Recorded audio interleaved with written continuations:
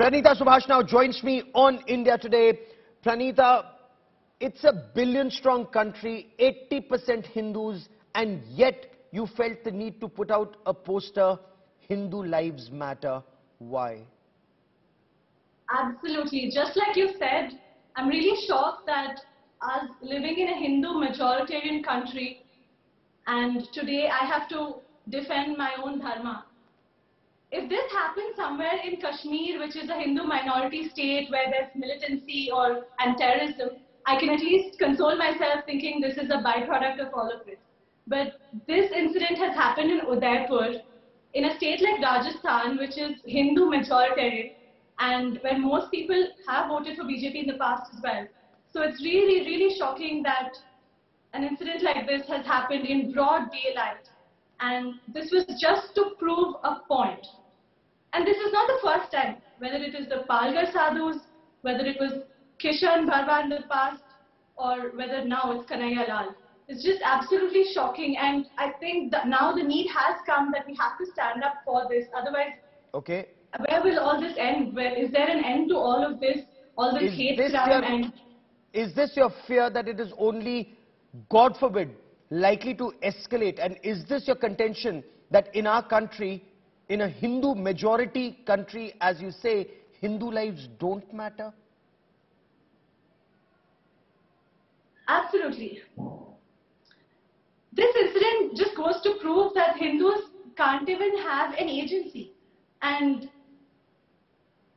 at the end of the day, I was just speaking about our own community, which went through several hate crimes. And as you said, this should not be the end of it. Now, let's be very clear about this, Gaurav. This was actually done because of the tailor's support to Nupur Sharma. And without going into the politics of it, I can tell you that this was because an alleged blasphemy was committed.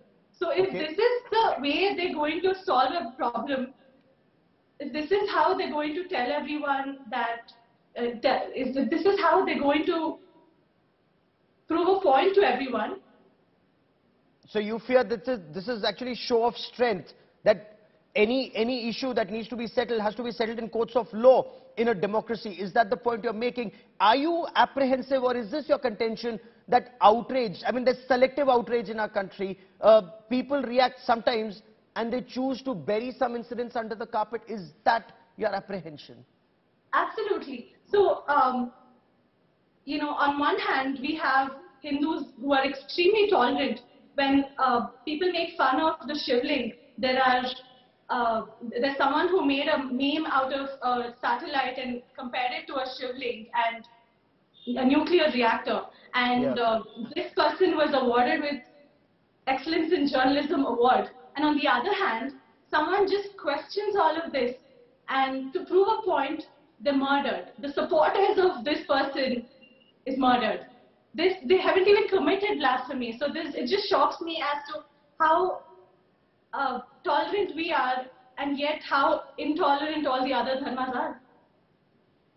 That's a point that the country needs to grapple with because those images that were broadcast across the country and that was you know the way these these these killers they not only killed Kanhaiya Lal they filmed it they bragged about it and they shared it on social media.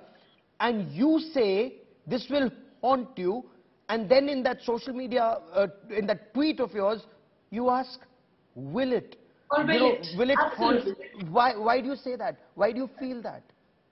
Because as we have seen in the past, whether it's the Palghar lynchings, whether it was Kishan Bharwad, I've seen how Twitter just gets enraged. There's a hashtag that's trending for about 24, 48 hours. All the who's who of BJP and uh, come out in support of it. And then what? And then there's no solution to it. It just the, the uh, incident just dies down, and days later, again it surfaces with a murder of somebody else who's innocent. And it, this should not continue. And I think that today time has come that us Hindus, we really need to stand up for ourselves.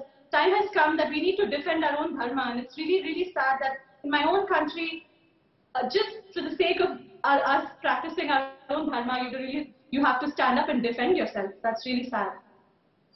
in a democracy, in a secular democracy, you are saying that Hindus have to stand up for themselves despite being 80% of the population. And you've also asked, is anyone listening? Why do you think that if, if there is this cry that goes out from you, why do you think no one's listening?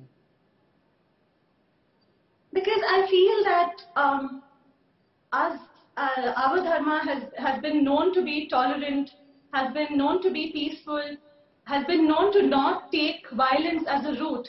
However, I don't see that coming from anywhere else. I, like what has happened now is just the most heinous violent crime ever that I've seen. And I think that the video is absolutely shocking. So I had to say, is anyone listening? Because I really need attention for this campaign, which is Hindu Lives Matter.